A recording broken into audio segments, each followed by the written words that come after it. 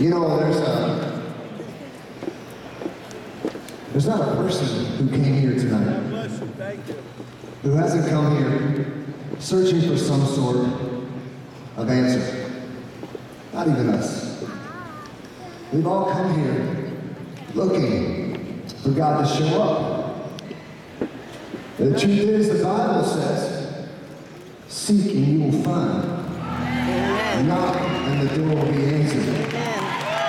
And ladies and gentlemen, tonight, our prayer for every single person here is that you would seek with all of your heart so that you might hear the words of this truly awesome and living God who we serve. That you would hear what you need to hear.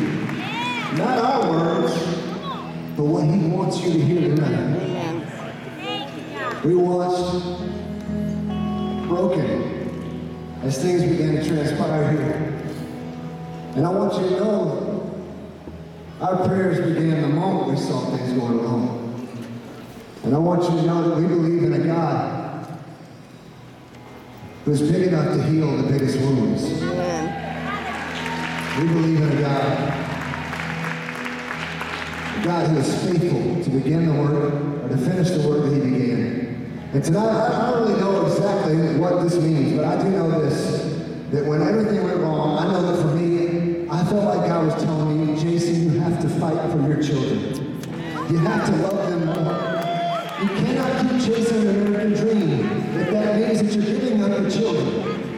And I felt like God was telling me over and over again, Jason, every moment you have, you love them with my love, and you let them know that there's purpose. And tonight, this is the word that I have for you. I don't know what it means, I hope it blesses you. Psalm 62, my soul finds rest in God alone.